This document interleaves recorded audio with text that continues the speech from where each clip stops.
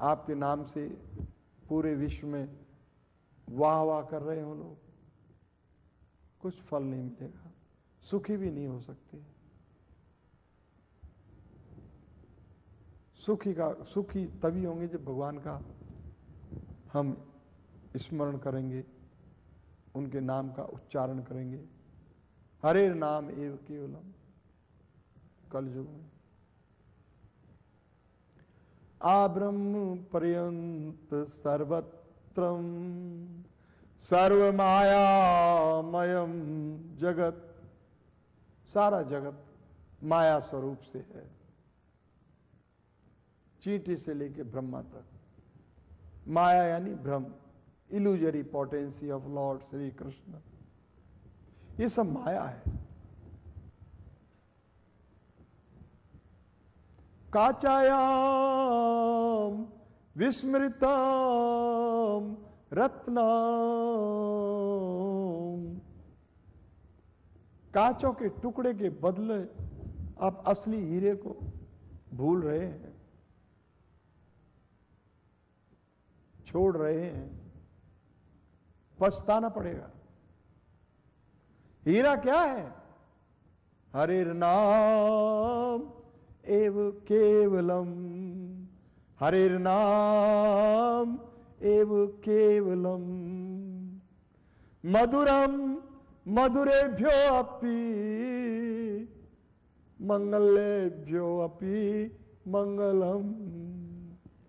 पावनेभ्यो अपि, पावनम।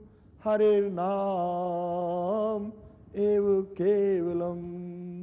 हरे नाम, एव केवलम। हरि का नाम ही आप अति मंगलकारी है। मंगल करने वालों में अति मंगल करता भगवान श्री कृष्ण का नाम है। भजो श्री कृष्णा लो श्री कृष्णा कहो श्री कृष्णा को नाम रे। जो कोई श्री कृष्णा बोले, वो है मेरे प्राण रे। चैतन्य महाप्रभु जी गा रहे हैं सड़कों पर, गाँवों में, गलियों में। कहो श्री कृष्णा, अरे मेरे भाई, कृष्ण कहो। कहो श्री कृष्णा लो श्री कृष्णा, कृष्ण का नाम लो। भजो श्री कृष्णा को नाम रे। कृष्ण नाम का भजन करो, जप करो, कीर्तन करो। जो कोई श्री कृष्णा बोले, वो है मेरे प्राण रे। जो कोई एक बार भी मुख से कृष्ण बोले, वो मेरे आके गले लग जाए, वो मेरा प्राण स्वरूप है। कृष्ण कहो, तुम्हारा कल्याण होगा, तुम मुक्त हो जाओगे। एक बार कृष्ण कहने से। संभव। यदि तन मन से एक बार भी कृष्ण कहें, वो भी आपको दुर्गति से बचा सकते हैं। सुगति मिल सकती है। बड़े से बड़े खतरनाक मोड़ से आप बच सकते हैं।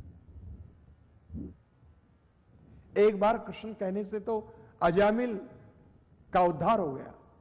एक ही बार कहा था, नारायण। एक बार कहा था, लेकिन तन मन धन से कहा था, असहाय रूप में कहा था कि गोविंद, मृत्यु सामने खड़ी है, रक्षा करो। नारायण। एक बार नारायण उच्चारण करने से अंतमता सुगता नारायण के धाम में चले गए, अजामिल। महापापी अजामिल। एक बार कहो श्री कृष्ण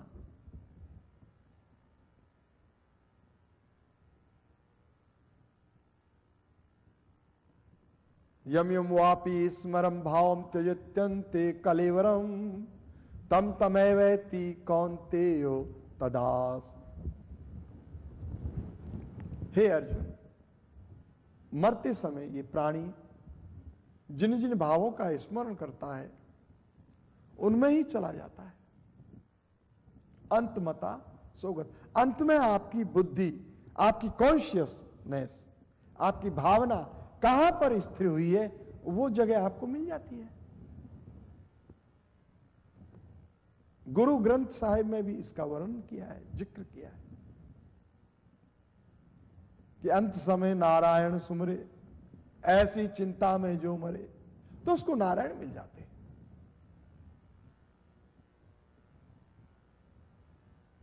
जहाँ जिसको आप सुमरोगे, वही आपको मिल जाएगा। अंत समा। तो कोई सोचे कि अंत समा में इस कह लेंगे फिर कृष्ण, या नारायण, या गोविंद तो यह असंभव हो जाएगा। संत पुरुष कहते हैं कि असंभव है। आपने जीवन भर जो अभ्यास किया होगा वो ही अंत समय में आपके सामने होगा। आपने पत्नी से जीवन भर अत्यंत प्रेम किया है कि मेरी पत्नी मेरी पत्नी मेरी पत्नी, मेरी देव। तो पत्नी ही याद आएगी अंत समय नारायण नहीं। इसका मतलब मैं ये नहीं कह रहा कि आप पत्नी से प्रेम नहीं करो। नहीं, पत्नी के हृदय में भी नारायण विराजमान है, ऐसे जान करके पत्नी को भी प्रेम करो, अपने कुत्ते को भी प्रेम करो, अपने बेटे को भी प्रेम करो, यही जानकर अपने पौधों को भी प्रेम करो, किसी दूसरे जानवरों को भी प्रेम करो कि सबके हृदय में नारायण है। तो अंत समय में नारायण की स्मृति आपकी ताज़ा बनी रहेगी। फिर आप समझ जाएँगे कि नारायण ही सब कुछ है, सर्वे सर्वा तो अंत समय में मुझे नारायण का स्मरण करना चाहिए। तो तब आप कह सकते हैं अजामिल की तरह कि नारायण! तो आप नारायण के धाम में जाएँगे। नारायण को प्राप्त कर लेंगे। इसलिए भगवान श्री कृष्ण ने ये श्लोक दूसरे अध्याय में कहा यम यम वापी स्मरम भावम त्यजित्यंते कलेवरम, तम तमय वहती कौनते सदा तदभाव भाविता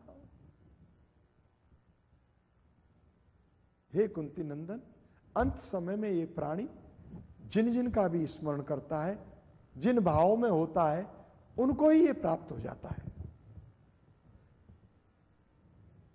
कहते हैं कि अंत समय में अपनी जमा की हुई संपत्ति, प्रॉपर्टी, धन, बैंक बैलेंस याद आ रहा हो और शरीर छूट गया हो तो उसको ही उसको प्राप्त करने के लिए भी कोबरा की योनि मिलती है। गरुड़ पुराण भी इसका प्रमाण देता है। नाग बन के भी वो आदमी नाग बन के भी उस प्रॉपर्टी का पहरा देता है। वो धन का पहरा देता है। उसके धन की इच्छा में रहता है कि ये मेरा धन है। ये सत्य है।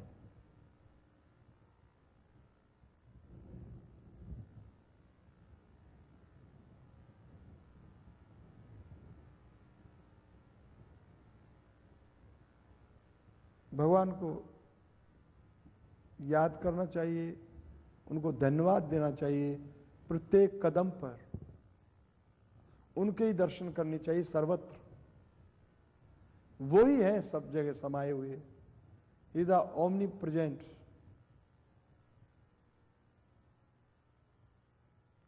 alpha and omega omniscient omnipotence वही है, सर्वत्र उन्हीं की शक्ति है कण कण में उनकी शक्ति है। जिस कण से अणु बम बनता है, वो कण के अंदर भी उनकी शक्ति है। वो विद्यमान है, शक्ति स्वरूप से। सर्वत्र वो है। हरि हमारे हमेशा हरदम हरेक सह में झलक रहे हैं। जो उनको गुलशन में जाकर देखा, हर एक गुल में महक रहे हैं।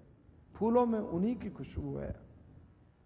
ये धरती में गंध भगवान की है, भगवान की याद दिलाती है। जल का स्वाद भगवान की याद दिलाता है।